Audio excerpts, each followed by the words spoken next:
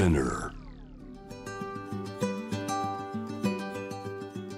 おはようございます。山本ソニアです。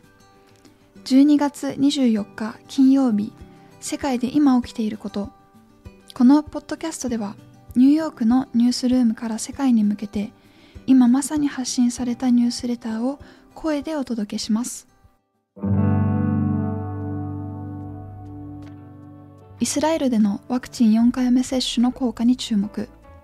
アメリカでは新型コロナウイルスの変異種オミクロン株の感染者数がデルタ株のピークを超えました。アメリカ当局は4回目のワクチン接種を進めるかどうかを判断するにあたりイスラエルにおける変異株との戦いの行方を注視しています。シノバックのブースターはオミクロン株に効果がない？中国のワクチンメーカーシノバックによる3回目接種。いわゆるブースター接種にはオミクロン株に対して効果がないとする研究結果が発表されました。この新しい研究結果はシノバックの見解とは矛盾しています。インテルが中国の消費者に謝罪した。メリカの半導体メーカーインテルは今月発表した文書の中で中国の新疆ウイグル自治区で調達された製品を使わないと宣言していました。中国国内でこの文書が報道されてから強い不買運動が起きていました。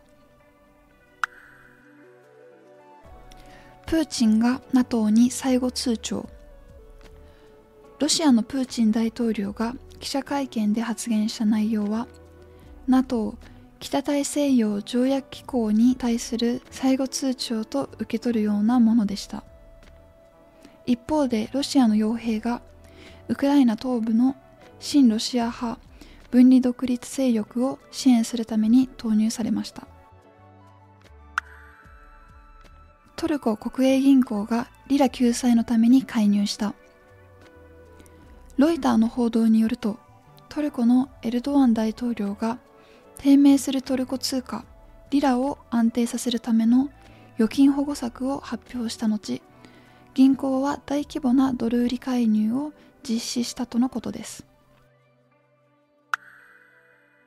CES が苦境に陥っている。アメリカ・ラスベガスで来年1月に開催予定のテック見本市。CES ではインテルやツイッター、レノボといった大企業が COVID-19 の感染拡大を理由に参加を取りやめています。主催者はその穴を埋めようと必死です。